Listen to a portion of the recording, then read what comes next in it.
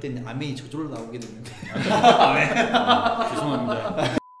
신부님 개인적으로 신부님께 묵주기도는 과연 어떤 기도이며 어떤 또 이 묵주기도와 관련해서 개인적인 어떤 체험이 있으신지 한번 여쭙고 싶어요.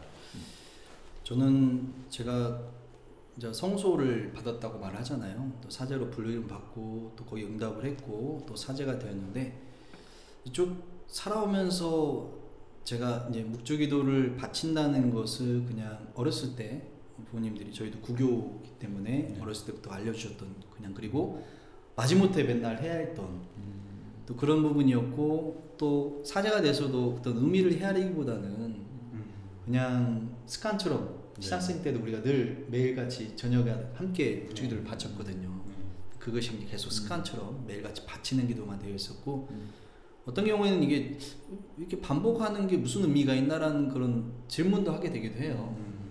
근데 저희들이 늘 해왔던 기도이고 또 어떻게 보면 이제 안 하면 뭐가 좀 크게 잘못된 것처럼 느껴지니까 늘 했던 기도이기도 했는데 이제 묵주 기도를 바친다는 것을 저는 제가 성모님 그 순례지를 방문하면서 그때부터 저에게 묵상이 시작됐던 거예요. 음. 그곳이 바로 파티마였습니다. 음. 근데 저는 어렸을 때부터 제가 몰랐었는데 제 어렸던 시절과 그리고 또 제가 고등학생 시절 힘들었던 그런 시간들을 보낼 때 항상 저를 지켜주신 분이 계셨는데 그게 성모님이셨고 그 성모님이 파티마 성모님이셨어요. 근데 파티마에 처음 갔을 때 저에게 왔던 것은 바로 성모님께서 저를 늘 그 골목골목에 항상 제가 힘들고 어려울 때마다 날 이끌어 주셨구나라는 생각을 했던 것이고 묘하게도 파티마에 방문하면서부터 묵주기도의 신비 묵상이 시작됐거든요. 음. 근데 왜 파티마 성모님을 우리는 묵주기도의 모라고 부르거든요. 10월 13일 발언 때 당신 자신을 나는 묵주기도의 모이다라고 말씀하시거든요. 저는 그게 일종의 저에게 주는 약간의 성모님 주신 송, 음, 성소. 음.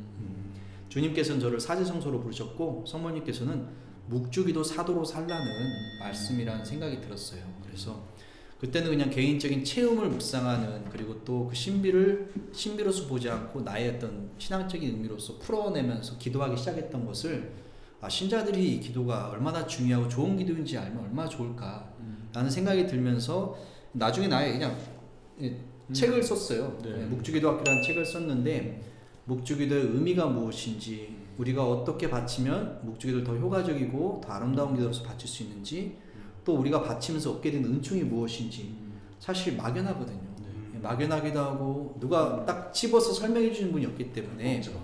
예. 그런 부분에 있어서 아 좀 신자들 기도하는데 좀 도움을 드리고 싶기도 하고 네. 저는 이걸 하면서 제가 오히려 더 신앙 고백이 돼요. 음. 저의 신앙 고백이 됩니다. 저는 이제 제가 지금은 본당 효자 사도 성당이라는 본당을 교구에서 맡고 있지만 네. 또 전에 성지 있으면서 그리고 또 제가 유학 다녀와서 또 있었던 본당부터 정말 그 지나온 시간들 보면 묵주기도 안에 살았던 것 같아요. 음. 그리고 또 그 시간들을 정말 제가 바라고 청한 것 이상으로 항상 선물처럼 주셨던 음. 그런 응답을 받았던 것이기 때문에 저뿐만 아니라 또 많은 분들이 체험으로 저한테 말씀해 주세요. 자기는 묵주기도 바쳤을 때 어떤 응답을 받았는지 어떤 응총을 주셨는지 모르는데 음. 하나도 음. 저희들이 청한 걸 버리지 않고 더 그 이상으로 항상 주셨던 음.